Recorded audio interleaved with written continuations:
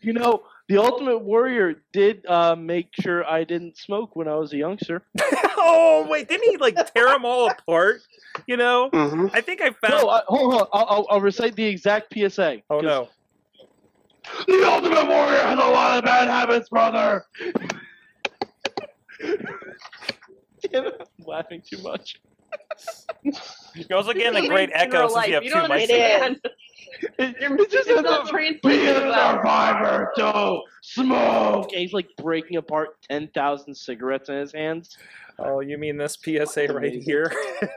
I don't have audio on here, so there you go. He's like, I thought he was like eating them at first. By the way, I think he's Intercontinental Champion at this point to put you in a time.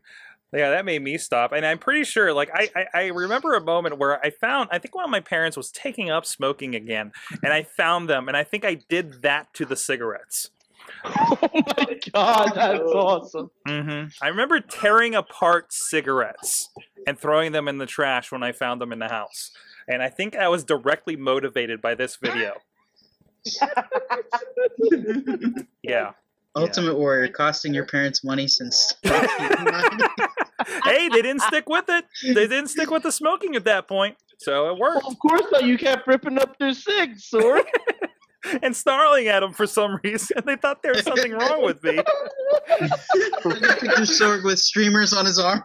Oh my, Oh god. my god, I'm picturing a tiny sword. Just No standing wonder- with a handful of cigarettes in his hand, snarling at his folks, tearing them up and having them fall into the garbage can. Oh god. Finally, something from my ch- one another thing from my childhood finally comes together thanks to pro wrestling.